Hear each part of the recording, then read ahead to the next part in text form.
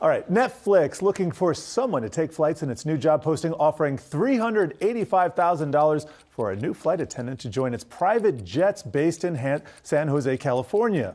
And uh, I got to say, $385,000 for being a flight attendant is not bad money. And you got to you got to think that the clientele might be a little bit more better behaved than the typical airline.